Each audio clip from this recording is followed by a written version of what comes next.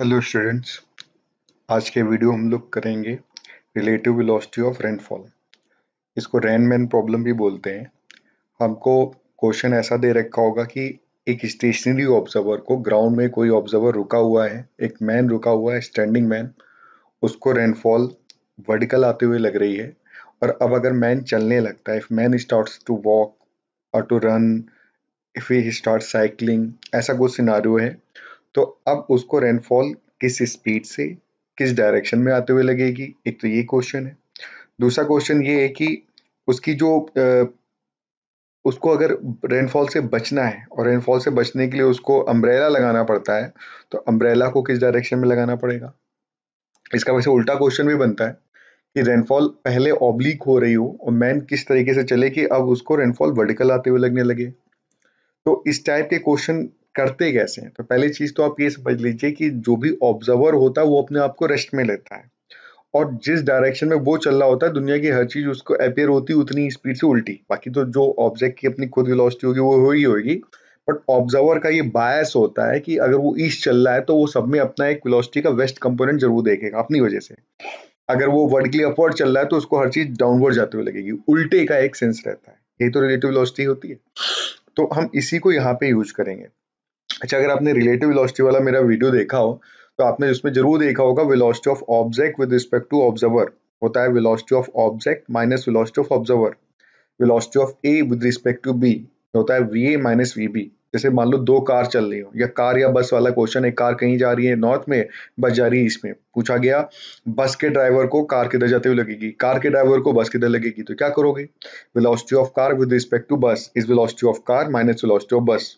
Velocity of bus with respect to car, velocity of bus minus velocity of car जैसे एक SIP दूसरे SIP को चलता हुआ देखें ship one ship two velocity of one with respect to two V one minus V two ये relative velocity का basic funda है। Velocity of object with respect to observer is velocity of object minus velocity of observer same चीज़ यहाँ पे भी लगेगी। भाई man जब चलने लगता है तो मान लो वो वी से चल रहा है और रेनफॉल वी से हो रही है। तो velocity of rainfall with respect to man ये हो गई रिलेटिव वेलोसिटी अब वी आर वी एम यहाँ पे एब्सोल्यूट ले रहे हैं। वैसे ये बात मैं कई बार बोल चुका हूँ, कोई भी वेलोसिटी एब्सोल्यूट नहीं होती। बट ग्राउंड के फ्रेम में अर्थ के फ्रेम में जब क्वेश्चन करते हैं, जब मैन रुका हुआ था स्टेशनरी ऑब्जर्वर को अर्थ के फ्रेम में जो वेलोसिटीज होती है, वो एब्सोल्यूट मान ली जाती हैं। और अर्थ के रेस्पेक्ट में जो चीज़ मूव कर रही है जैसे मैन मूव कर रहा है तो वो अब जो रेनफॉल को देखेगा तो वो वाली वेलोसिटी रिलेटिव वेलोसिटी तो वही तो मैंने लिखा V R M velocity of rainfall with respect to man ये क्या होगा? Velocity of rainfall minus velocity of man. Vr minus vm. कैसे निकालेंगे? तो देखिए मैन रोड पे कहीं पे भी चले नॉर्थ साउथ ईस्ट वेस्ट वो एक्स वाई प्लेन है। रेनफॉल वर्टिकल हो रही है वो जेड में हो रही है। तो अब हम X Y Z three dimensional figure तो बनाएँगे नहीं बोर्ड में या कॉपी में एग्ज़ाम में क्वेश्चन करते वक्त। तो आप हमेशा रेनफॉल को वर्टिकल दिखाओ। वर्टिकली डाउनवर्ड हो रही है तो आप उसको वर्टिकली डाउनवर्ड दिखाओ। मैन कहीं भी, भी चले आप उसको हॉर्जेंटल ही दिखाओगे। मैन कहीं पे भी चले उसे क्या दिखाओगे?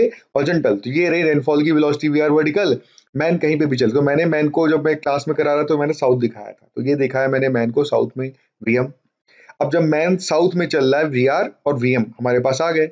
अब मुझे चाहिए V R minus V M vector subtraction तो भाई वैक्टर सब्ट्रैक्शन निकालते कैसे? A minus B A plus minus B करके। माइनस कैसे निकालते हैं किसी वेक्टर का? तो देखिए वेक्टर सब्ट्रैक्शन एडिशन से निकालते हैं और ए माइनस बी कैसे निकालते हैं? A plus minus B B को रिवर्ट कर दो माइनस निकालने का मतलब किसी वेक्टर का माइनस मतलब डायरेक्शन उल्टी कर दो और उसको वेक्टर में ऐड कर दो। सब्ट्रैक्शन हमेशा एडिशन से ही निकालते हैं। यही तरीका मैंने बताया। उसके बाद चाहे ट्राइंगल यूज़ करो, चाहे पैलोग्राम यूज़ करो, या फिर मैं जो यूज़ करता हूँ इनिशियल टू फाइनल तो ये रहा मेरा वी ये था VM V R minus VM निकालने के लिए मैंने वीएम की डायरेक्शन उल्टी कर दी तो माइनस वीएम आ गया। अब देखिए वी आर और माइनस वीएम मेरे सामने मुझे वी आर और वीएम को सब्ट्रैक्ट करना था बट वी आर और माइनस वीएम को ऐड करना है। V R plus minus VM करना है। तो आप क्या करो, ये पकड़ो इनिशियल ये पकड़ो फाइनल दोनों के बीच में स्ट्रेट लाइन जोड़ दो ये रही, दोनों के बीच में स्ट्रेट लाइन तो ये बन गई V R minus V M V R minus V M V R M होती है। तो ये बन गई velocity of rainfall with respect to man with respect to man ground के फ्रेम में रेनफॉल जिधर हो रही थी, वो एक्चुअल स्पीड एक्चुअल डायरेक्शन थी। मैन के फ्रेम में जो रेनफॉल हो रही है, वो रेनफॉल की एपरेंट स्पीड और एपरेंट डायरेक्शन है। तो ये मैंने लिखा एक्चुअल ये लिखा मैंने एपरेंट ऐसा होते हुए एपियर होगी। मतलब ये अब लगेगी कि रेनफॉल ऐसी हो रही है। आप देख रहे हो कि इसका मैग्नीट्यूड जो है, ये हाइपोटेन्यूज बन चुका है। परपेंडिकुलर के मैग्नीट्यूड से ज़्यादा है। यानी कि रेनफॉल अब ज़्यादा स्पीड से आते हुए लगेगी। ये हम लोग एक्सपीरियंस भी करते हैं एवरीडे लाइफ में।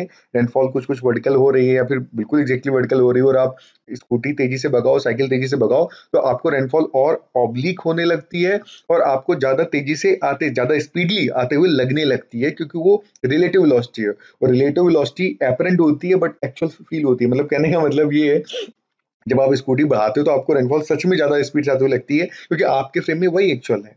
तो देखिए एंगल भी चेंज हो रहा है। एंगल देखिए टेन थीटा का थीटा निकाल लें तो tan theta perpendicular upon base से वीएम अपॉन वीआर आएगा। तो मैन जितनी तेज़ी से भागेगा वीएम ज़्यादा तो थीटा भी बढ़ेगा तो रेनफॉल थीटा बढ़ने से और ज़्यादा ऑब्लिक होती हुई लगेगी। वर्टिकल से और ज़्यादा बड़ा एंगल बनाएगी। अच्छा अब रेनफॉल कितनी स्पीड से आते हुए लग रही है? तो वीआरएम यानी कि हाइपोटेन्यूज का मैग्नीट्यूड पाइथागोरस थ्योरम से under root V R square plus VM square किस तरफ़ आते हुए लग रही तो मैन जिधर भाग रहा था, उसके अपोजिट आते हुए। तो अब एक क्वेश्चन कर लेते हैं जल्दी से। Then fall 10 kilometre per hour से डाउनवर्ड हो रही है। ठीक। मैन 20 किलोमीटर पर आवर से चल रहा ईस्ट ठीक। अब अगर मैन ईस्ट चल रहा है तो रेनफॉल किधर आते हुए लगेगी? सम डिग्री वेस्ट लगेगी। ये तो होना ही होना है। ये मैंने फिगर बनाया रेनफॉल टेन ये देखा मैंने मैन को 20 ईस्ट से तो वी आर माइनस पी करोगे तो इधर 20 वेस्ट हो गया। इनिशियल टू फाइनल मैंने जोड़ दिया। तो under root ten square plus twenty square ये हो गई रेनफॉल की speed with respect to man man को under root ten square plus twenty square ten root five से आते हुए लगेगी। किधर लगेगी? तो मैन ईस्ट जा रहा था, अब ये वेस्ट किधर से वेस्ट वर्टिकल से वेस्ट की तरफ़। ये देखिए वर्टिकल से वेस्ट की तरफ़। कितने एंगल पे? तो tan theta perpendicular upon base आपको याद नहीं रखना है वीएम अपॉन वी आर है कि वी अपॉन वीएम फिगर पे ध्यान रखना है। Tan theta twenty upon ten कितना आएगा? टू टेन थीटा टू तो थीटा कितना? Tan inverse two tan inverse two का angle from vertical towards west tan inverse two का angle from vertical towards west tan inverse two का angle from vertical towards west ये आपकी हो गई rainfall की स्पीड और डायरेक्शन रेनफॉल की स्पीड और direction tan inverse two from vertical towards west rainfall इतनी स्पीड से इस डायरेक्शन में आते हुए लगेगी. ठीक अच्छा मैन को अगर बचना है रेनफॉल से तो ये अम्ब्रेला लगाना पड़ेगा। ये रहा छाता छाता, ये रहा छाता रेनफॉल से बचा लेगा। रेनफॉल वाला जो एरो आ रहा था अब छाते को किस एंगल पे लगाना है? तो छाता आप नॉर्मली पहले वर्टिकल पकड़ोगे आपने टिल्ट किया तो वर्टिकल से इतनी तो टिल्ट करोगे। भाई ये वाला एंगल तो यही होगा जो ये वाला एंगल है। दोनों एंगल सेम है। तो वही tan inverse two tan inverse two का एंगल फ्रॉम वर्टिकल से छाता आपको ईस्ट की तरफ़ ले जाना पड़ेगा। तो आप रेनफॉल से बच जाओगे। तो to prevent to to prevent man को अगर रेनफॉल से बचना है तो आपको कितने एंगल पे लगाना पड़ेगा? Tan inverse two from vertical towards east ये आपका आंसर हो गया। और रेनफॉल अब कितने से आते हुए लगेगी? Ten root five kilometre per hour से आती हुई लगेगी टूवर्स वेस्ट की तरफ़। तो एक और मैं वीडियो बनाऊँगा जहाँ पे उल्टा होगा। यहाँ पे था रेनफॉल वर्टिकल मैन के चलने से लगी थी ऑब्लिक दूसरे में होगा कि रेनफॉल है ऑब्लिक मैन के चलने से लगेगी वर्टिकल